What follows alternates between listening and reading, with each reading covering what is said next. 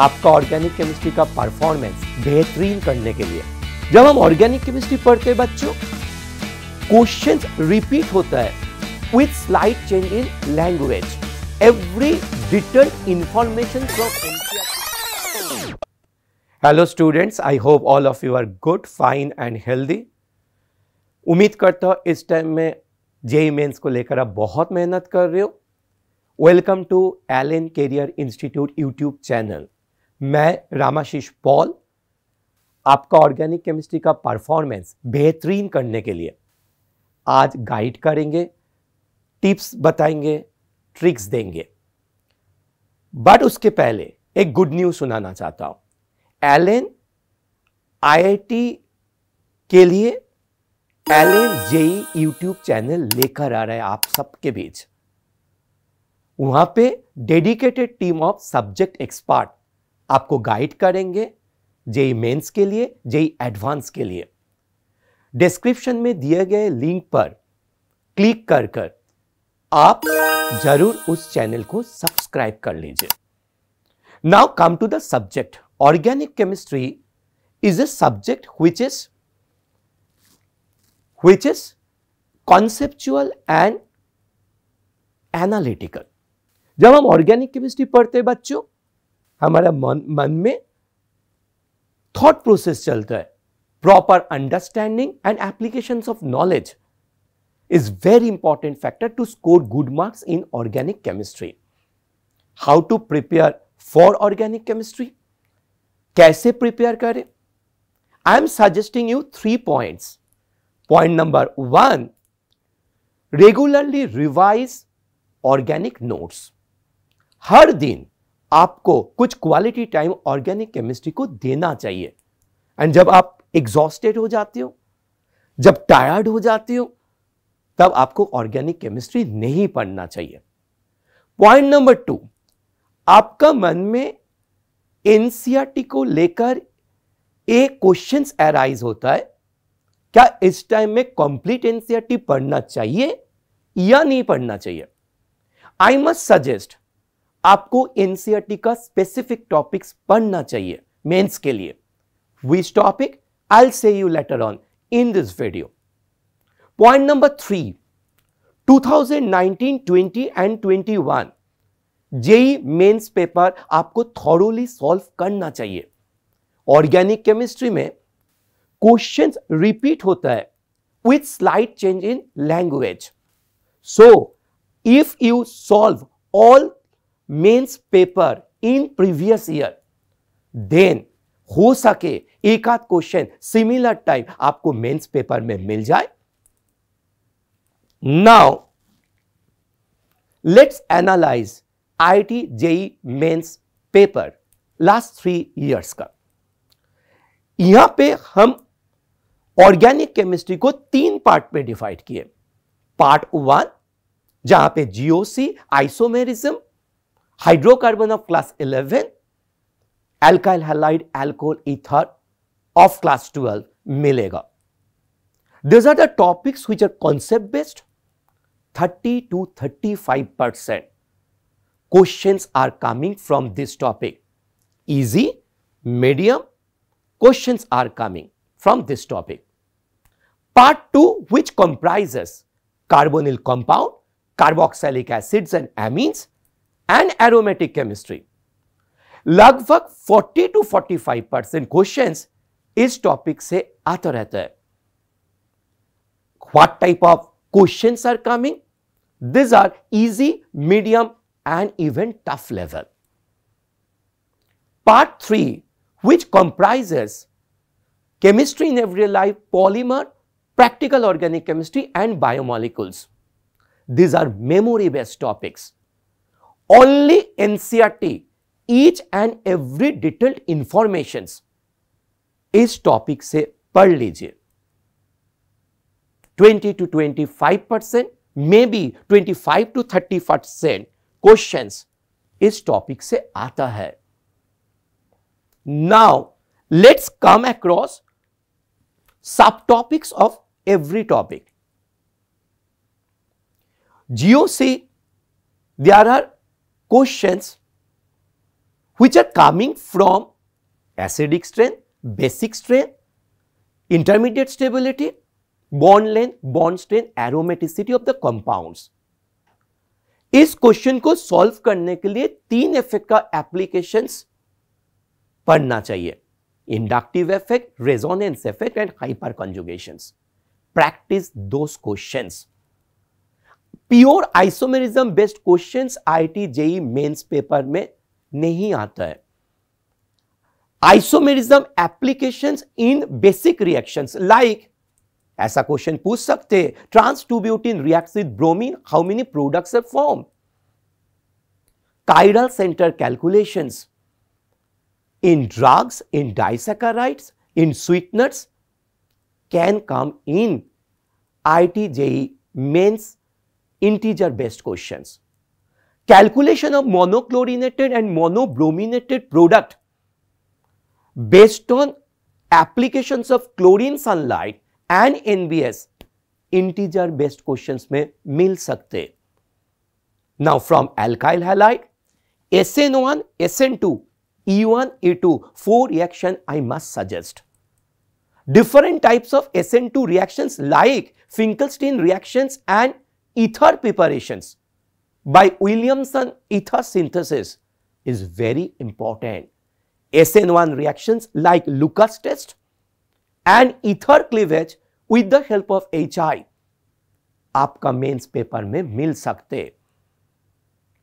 next from hydrocarbon alkene reactions based on Markovnikov and anti Markovnikov product आप ज़रूर पढ़ के जाओ alkyne Kucherov of reaction and trimerisation of ethyne to prepare benzene आपको पढ़ना चाहिए।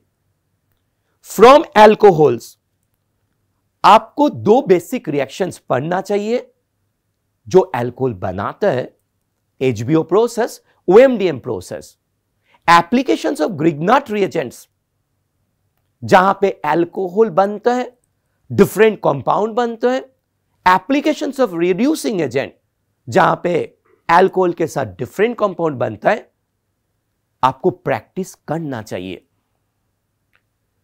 यहाँ पे आप ज़्यादा से ज़्यादा फोकस करो रिएजेंट्स पे rather than mechanism I must suggest you one small things आप एक रिएजेंट्स का लिस्ट बनाओ और उसको डेली प्रैक्टिस कीजिए। उससे आपका मेंस पेपर सॉल्व करना आसान होगा। Now now carbonyl compounds it's a big topic बच्चे आप परेशान रहते हो। कौन सा रिएक्शंस पढ़ना चाहिए? I must say four reaction in details आपको पढ़ना चाहिए।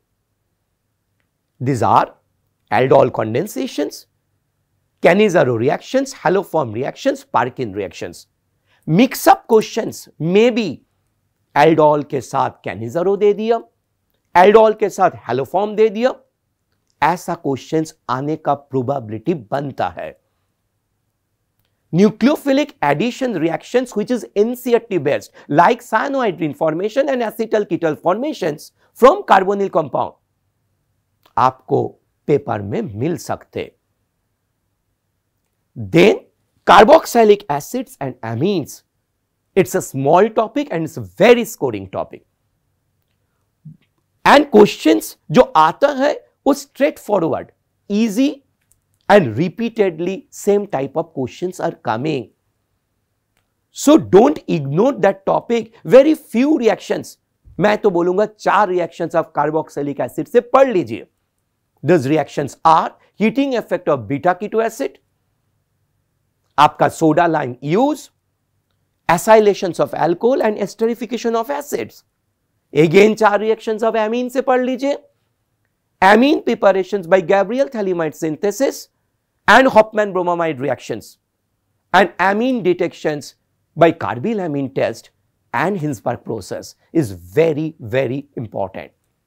And then aromatic chemistry, it's a huge topic, but I must say focus on four reactions. Nitrations reactions, brominations reactions, Friedel-Crafts reactions, alkylation, acylation, intramolecular, intermolecular, ये सारे important है again mixing of aliphatic and aromatic questions आपका mains paper में देखने के लिए मिल सकते so practice this type of question extensively diazonium formations and coupling color of dyes in different medium is very important. From phenol, its preparations, two reactions, industrial process and SNR process is very important. Phenol reactions on analgesic like aspirin preparations, for example, Riemann reactions and Kolbe reactions, ये दोनों पढ़ना ही चाहिए बहुत सारे Mains paper में ये दोनों reaction से क्वेश्चंस मिलते हैं। नेक्स्ट पार्ट थ्री आपका biomolecules from biomolecules carbohydrate every detailed information from NCERT are equally important disaccharide structures polysaccharide structure reactions of glucose structure of monosaccharide NCERT से एक एक पॉइंट बेटा पढ़ के जाइए। NCERT again for amino acids is very important particularly the table where different types of amino acid structure and they are number of functional groups chiral centre every small detail information given वो सारे mains paper में बहुत ज़्यादा important है। From polymers starting from classification preparation of polymer even use of polymer from NCERT again important practical organic chemistry a topic you know question paper में partly आता है। जैसे सेपरेशन टेक्निक हो गया जैसे फंक्शनल ग्रुप का test हो गया। For example Tollens reagent Fehling solutions ये सारे पढ़ के जाओ। और इसके साथ साथ quantitative estimation of elements nitrogen and sulphur particularly आपको पढ़ लेना चाहिए। उसके बाद chemistry in everyday life students again, NCRT, words, every words are important. Now, कुछ बच्चे का ये प्रॉब्लम होता है जो सर आज हमने पढ़ लिए और दस दिन के बाद हम वो भूल गए।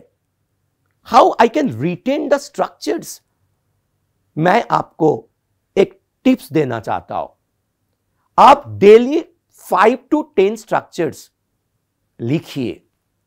और next thirty days if you do extensively if you follow it blindly Mains paper में आपको जो स्ट्रक्चर पूछा जाएगा, वो आपसे बन जाएगा।